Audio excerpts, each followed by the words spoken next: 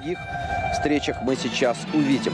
И отправляемся в э, Кальере, где хозяева поля принимали Ювентус, который располагается на четвертой позиции в турнирной таблице. Ну а Кальере, э, который потерпел несколько поражений подряд, э, отчаянно бьется за выживание. И Калери сейчас в атаке. Давайте скажу о составе Ювентуса. Быстро Щенсный в воротах, но не дает мне этого сделать. Жао Педро, капитан Калери, который как раз-таки ворота Войцеха Щенсного и поражает. Произошло это уже на десятой минуте. Вот такой э, проход Резвана Марина и передача на Жао Педро.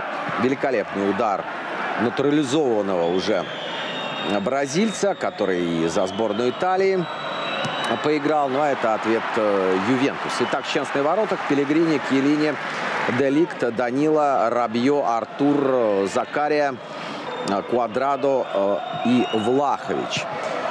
Э, Влахович и Дебала, естественно, по поводу которого очень много разговоров в последнее время. Но вот таким образом Ювентус сравнивает счет, делает это Пелегрини. Еще раз э, смотрим, но здесь э, зафиксировал игру рукой со стороны Рабьо арбитр, и поэтому гол не защита. Но это удар уже э, со штрафного. Бил поворотом Паулу Дебала. Неплохой удар, но немного неточный.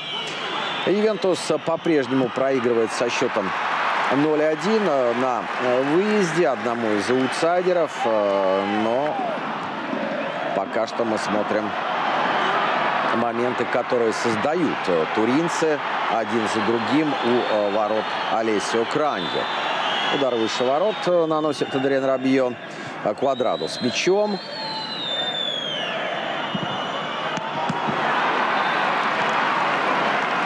Ну и э, здесь неточный удар Квадраду. Хотя нет, прошу прощения, тут, конечно же, Олесио Крани великолепно сыграл. И в Квадраду накручивает на фланге. Есть вариант вот такой на Деликта. И тот отправляет мяч в сетку ворот. Один из лучших, пожалуй, игроков Ювентуса в нынешнем чемпионате. Деликт счет сравнивает в этой встрече. И причем очень важно для Ювентуса. Произошло это на 45-й минуте перед самым перерывом. В атаке Ювентус. Это Дибала угрожал воротам. А, Ювентус уже рассматривает Марко Асенсио в качестве приоритетного варианта замены э, Дибалы, потому что э, Дибала, напомню, покидает команду летом на правах свободного агента. Ну и по слухам вот э, есть такой вариант вместо Дибала. Рядом со штангой мяч пролетает после удара очень активного Квадрадо. Вот кому, а к Квадраду, конечно, претензий нет по нынешнему э, сезону. Ну, а это передача на Влаховича. Посмотрите, он три защитника буквально на нем висели. И Влахович, один из лучших бомбардиров итальянского чемпионата, все-таки продрался к воротам, но удар не удалось нанести. А здесь, а здесь все-таки Влахович забивает. 22 гол в сезоне. Влахович забивает и э, выводит Ювентус вперед.